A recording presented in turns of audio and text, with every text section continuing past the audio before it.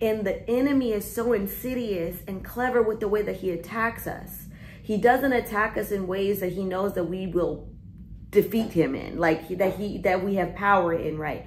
He comes in those subtle ways that when we're not on our stuff, that he can prevail. He looks for the tiniest crack in our armor, in our in our in our our vessels to penetrate and to attack and he doesn't need much to go ham. And he knows exactly where we need God the most. And so when we don't tap God first and instead we go to our own devices in order to feel safe to feel comforted to feel like we're powerful um, that's exactly where the enemy wants us to be. So I've had to reframe myself. I've had to lean on my husband because I, I haven't had it in me this week. I have not had it in me this week. I, I'm spiraling. I'm spiraling. I can't, I can't say more. I'm spiraling. Shout out to me for having a mental breakdown and needing to redo my makeup. I feel like I've been spiraling all week long. Two really important things happened this week, happening this week. And oh my goodness, I can't even think straight. A whole, er, er, mm, mm. I'm running out of my bronzer drops. I can't get it, make it work. Had a whole low key, high key mental breakdown today. Fun times.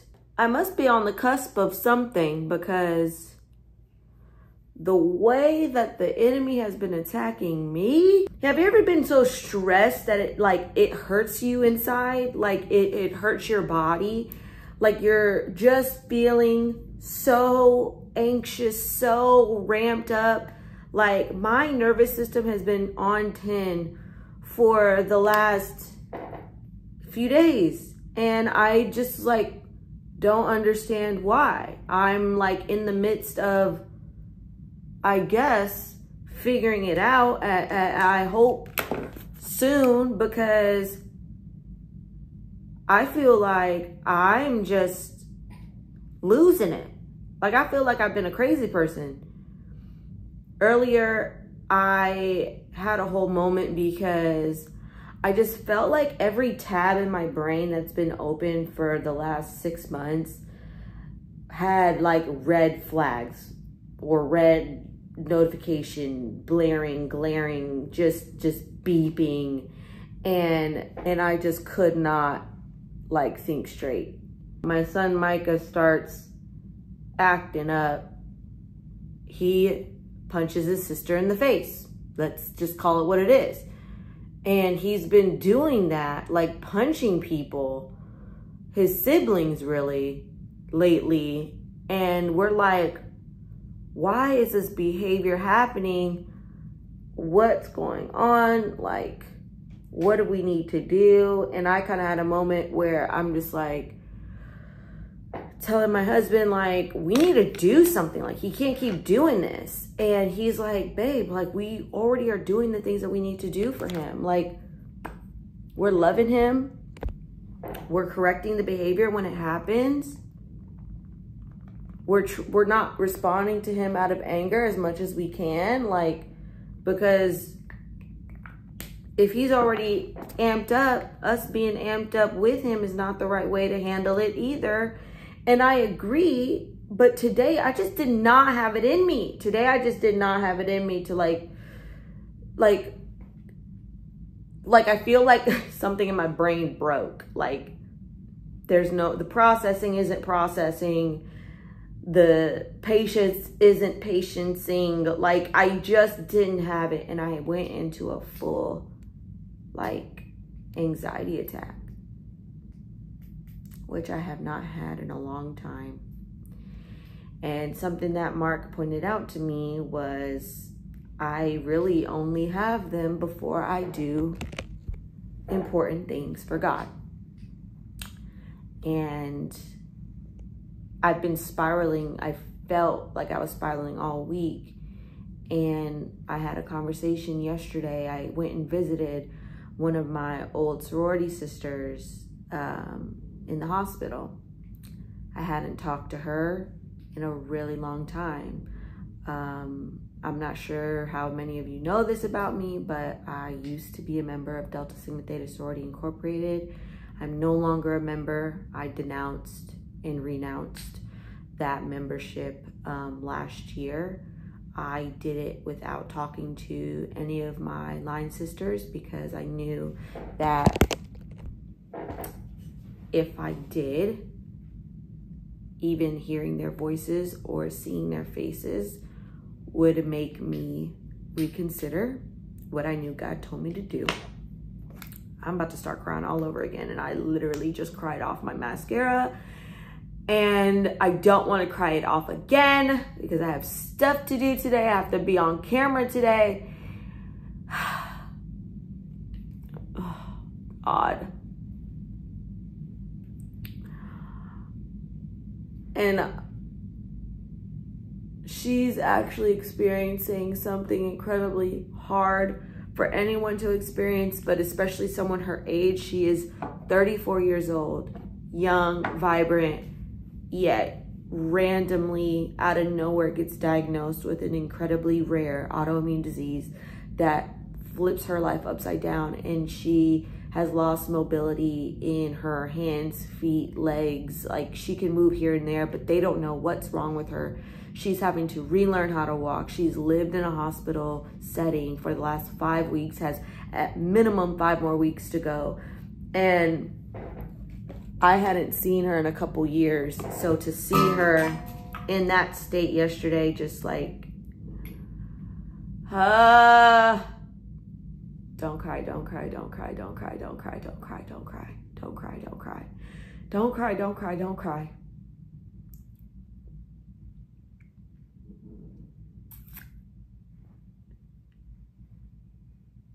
Seeing her like that broke my heart.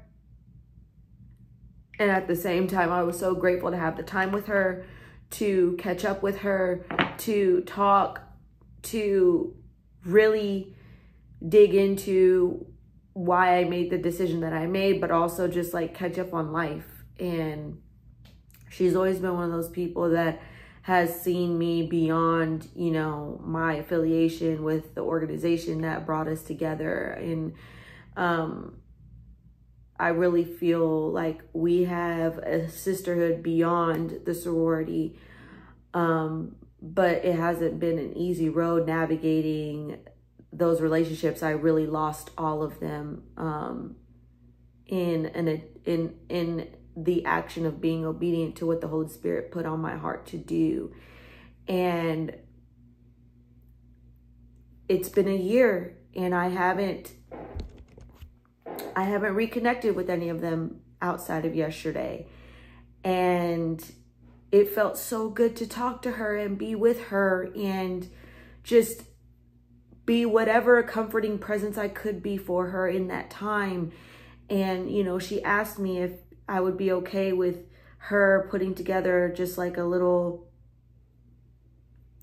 time to chat, eat together, break bread with some of our um, other sisters, and I, I agreed because I haven't known where have they stood with me. I know that a number of them have been upset with me, have felt types of ways about me, and that's been hard for me to live with, but it wasn't something that I was willing to allow compromise my walk with Christ and what I know God led me to do. And um, there was a lot of things that happened from me leaving my wallet at home, knowing that I had to go back and get it because I couldn't get into the hospital without an ID. I had my two daughters with me, Emery, who's five months, and Sarai, who's five, and they came with me to the hospital. They came with me to the hospital, and we went later in the day and so it was getting darker and I parked in the wrong parking lot. I had to, I walked all the way to the right building, but realized I parked in the wrong spot. And if I didn't move the car, then we were gonna have to be walking at night by ourselves and I didn't wanna do that with the girls. So I had to walk us all the way back, put everybody back in their car seats, you know, get out the parking lot. I get stuck in the parking lot. I get stuck in the parking lot. My card isn't working. Emery is screaming her head off, crying. And I'm just like, I still haven't even gotten to the building. I haven't even gotten to where I need to be. And I've already, like, had to drive 30 minutes, then drive another 30 minutes back, then go back the right way to just, like, turn around, like, just to go see this girl. And so I'm having like a little like moment in the car as I'm getting reparked, finally get out of the parking lot or parking garage that I was stuck in. And I'm calling my husband and I'm just like, babe, like I'm having a moment. Like I just feel like so like things just keep happening to keep me from going and seeing her. And he just like calmed me down. He was like, hey, do you want to FaceTime me? I'll help you figure out where you're supposed to be. Like, you know, just breathe, blah, blah, blah. And so finally I, I, make it to where I'm supposed to be. It was right there. It wasn't even far. I got to the right place I was supposed to be. I went in and saw her and spent a few hours with her, two or three hours with her. And I'm so glad that I did. And I'm so glad I didn't let those little things throw me off because I felt like that conversation, that time spent was redemptive. It was a gift because the Lord knows like how much I have grieved those relationships and wishing that I could help them understand why I did what I did and why I haven't been around and I've missed them and I've felt a loss um, of those relationships and it's just been hard. Um, every time Delta comes up, I get emotional. I have been in conversations recently where other women who are Deltas are either wearing their paraphernalia or mentioning Delta or their line sisters. And I have sat and I've been quiet. And for me, as someone who joined the organization and was like super Delta and, you know, chapter president and like went hard for that organization and just was always like so wrapped up in it to be in a position now where I'm talking to women that I absolutely connect with and am feeling like so much synergy with and not say and not say that I'm also a part of what you're a part of and I understand you and I connect with you on such a deeper level than but but but I don't anymore. I don't connect on that level. And um those moments are hard because they're silent moments where I'm reminded of the decision that I've made and I'm also reminded of what I've lost. And I found peace in those moments. I haven't had, you know, like breakdown cry sessions after those times, but I think the Lord knew in my heart what that was for me. Um, and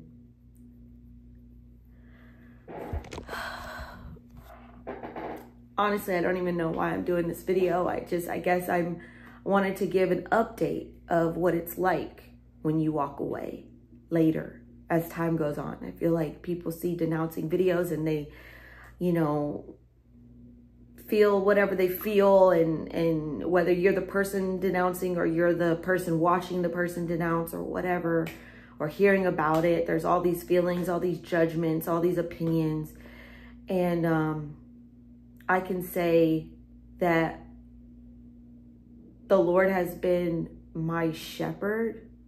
He has guided me. He has brought me to places of peace. He has brought me to a position where my heart can feel all the things that it needs to feel to navigate. I feel free, even though freedom doesn't come with no issues or troubles or, or, or, or hard moments. I do have them still, but I have a safe place in him that I run to, that I can go to every time I'm feeling down, feeling insecure, feeling afraid. I have a safe place now that I didn't have before. And I feel that I am finally in a place where it's safe enough for me to reapproach those relationships and reapproach those women that I love so much without feeling like my obedience would be in jeopardy. And at the very same time, I am not running past where the Father has me, and I'm not going to rush or force anything on anyone. So I am hopeful for what God can do with mending these relationships that I had um, and leaving the ones at rest that are that are at rest. That's where I'm at with it. Um, God has created a community for me with sisters and brothers in Christ that I am so, so grateful for because I can be my whole self.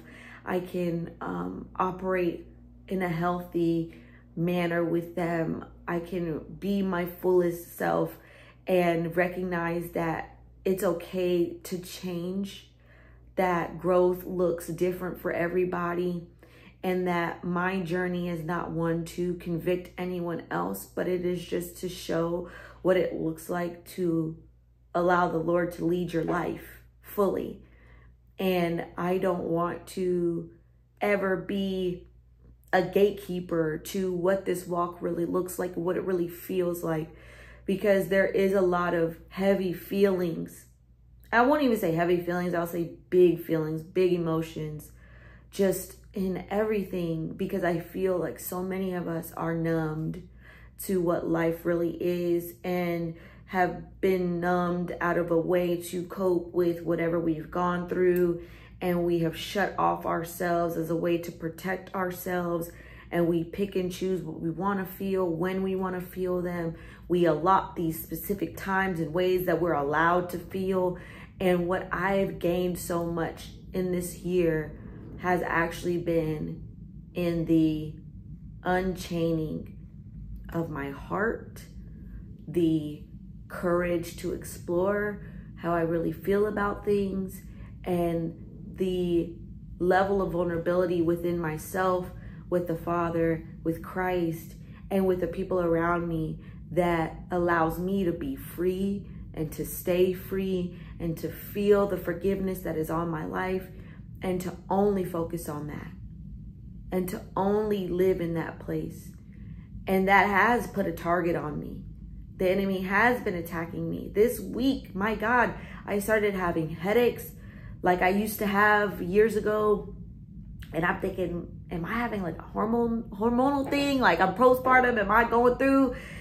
You know, and I'm just like, no, like this is this feels different. This feels like the enemy is trying to attack me through my body, through me not remembering to take my supplements the way that I've been taking them, not taking care of myself, not drinking enough water, thinking that I've got to do other things and that those other things are more important than making sure that I'm healthy. Like I, I need to, you know, over index over here because I'm feeling weak over here. Like I've been doing that.